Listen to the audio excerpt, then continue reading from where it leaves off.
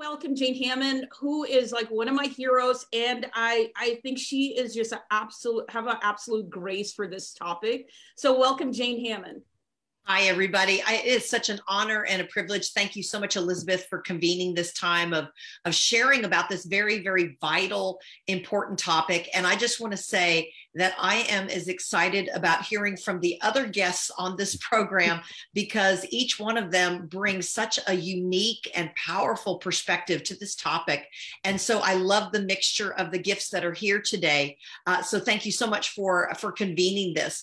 Um, I started operating or recognizing that I was operating in discernment well over 35 years ago. Mm-hmm. And um, you know, I think probably those of us that have a gift of discernment or or just that are sensitive to the Holy Spirit can probably all relate to perhaps walking into a room and suddenly you feel uncomfortable with a person or you feel uncomfortable with the situation and it kind of hits your spirit wrong and you just kind of go, hmm, wonder wonder what that is. Um, and you know, um, and so so on this journey, I've kind of learned to give language to the things that I'm picking up on, the things that I'm sensing, all the while challenging myself not to become critical or judgmental of people, how to walk in love and discernment uh, at the same time. Because I'll be honest, in my early years of operating in discernment, um, I just wanted to shoot them all and tell God they died. Okay. I, just, I had very little grace, very little mercy. Okay. Um, but honestly, what happened with me is that I got a prophetic word from Kim Clement. Way back when he first came to America. Wow. And he said, I've anointed you to see the snake and to see the wolf. And that God said, I've called you to be a watchman for this ministry and for the body of Christ. Now, I believe that Jesus has called every single one of us to come to a higher level of watching and praying.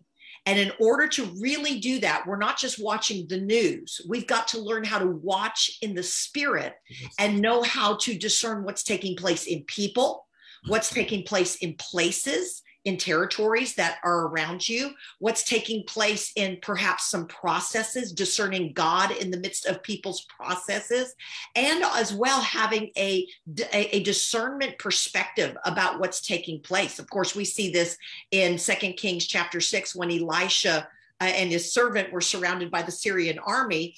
And uh, Elisha had a whole different perspective than his servant. Um, his servant was like, Oh my gosh, we're surrounded. We're going to be wiped out. And Elisha's, yeah, like, yeah, don't worry. There's more that are with us than are with them. And the servant looked out the window and couldn't see what Elisha was seeing. So Elisha prayed for him and said, Lord, open his eyes so that he may see. And when Elisha's servant's eyes were opened, he actually saw a completely different perspective about what was going on. Because while it was true in the natural that they were surrounded by the enemy, there was a greater truth that was supernatural in that there were angel armies surrounding the Syrian army. Okay, so that just changed the whole perspective. So in, in my book on discernment, I talk about discerning the times, discerning the spirit of God, discerning um, angels, discerning demons, and what do we do, like Elizabeth was saying, when we discern something that's operating in uh, a fellow member in the body of Christ, or somebody that's perhaps a wolf or a snake, like like uh, Kim Clement prophesied over me. So when when I went back to our ministry, I was sharing uh, this this prophetic word with with Bishop Hamon, and he said, "You know what? We need discernment." In the body of Christ today now more than ever. So he laid his hands on me. He said, Lord, we activate that gift to come to another level, to come to a higher place of operation. And, and, and I charge her with that. I didn't feel any different. But the next day when I went to church, it was like, ah, I'm such a people person. And I was like, hi, good to see you. Wonderful to see you. I go up and I'd hug them. And all of a sudden it was like the curtain was removed, you know, and I saw all this stuff. The word revelation actually in the Greek is the word apocalypsis, which means to remove the veil or to remove the curtain. And so you see in the spirit, you see angels, you see demons, you see things that are going on in, in, heart motives or wrong intentions. You you see what Paul said when he warned the Galatians and he said, beware of false brothers that want to come in and tr- cause trouble in the church. And so all of a sudden, all this stuff, I started seeing all this stuff. And I literally went back to Bishop Hamon about two weeks later. I said, You put your hands back on me and you take this back. I don't want this, I, I don't want this operating in my life. because it, it just felt so heavy and so negative. And he said, You know, no, I'm not going to do that. You're going to have to learn how to operate in this gift of the Holy Spirit. And so my husband and Bishop were, uh, who are two of the most mercy motivated men, really began to really impart into my life, really began to challenge me and charge me to operate in a higher level, to understand that gifts are given not to become judgmental or critical, but actually to give an opportunity for people to get set free, for people to come to a higher place in their walk with Christ, for you to be able to deal with principalities and powers. Uh, you know, the uh, the listeners have to be aware that we are in a war right now. I mean, we literally are in a war that I believe that uh, the, the war right now is over the voice. I believe the war is over uh, who is controlling the voice. Uh, I believe that there's God's voice, but then there's a lot of other voices that are out there in the world today. And we've got to become very discerning uh, about the voices that we're hearing, the voices that are being released into the atmosphere. And we've got to understand that we've got to release the voice of God.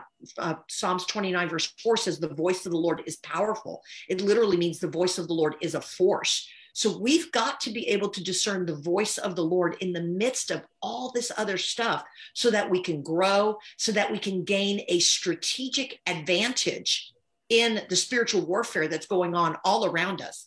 I believe that we're warring for the souls of men and women I believe we're warring for our families. We're warring for a nation and for the nations that are in the earth today.